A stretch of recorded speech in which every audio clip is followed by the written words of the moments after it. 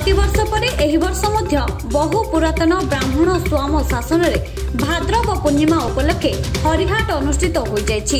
ଏହି ହରିହାଟରେ ରାମ ଲକ୍ଷ୍ମଣ ସୀତା ଓ ହନୁମାନଙ୍କର ମୂର୍ତ୍ତି ରଖି ପୂଜାର୍ଚ୍ଚନା କରାଯାଇଥିଲା।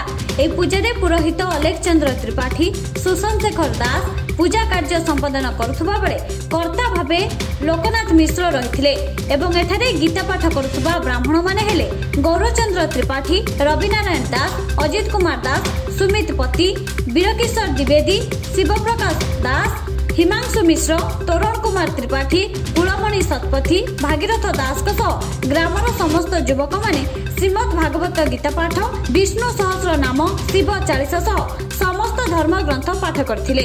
ଶେଷରେ ସମସ୍ତଙ୍କ ପାଇଁ ପ୍ରସାଦ ସେବନର ବ୍ୟବସ୍ଥା ହୋଇଥିଲା। କେନ୍ଦୁଝରରୁ Anjan ରଣାଙ୍କ report Odisha voice twenty four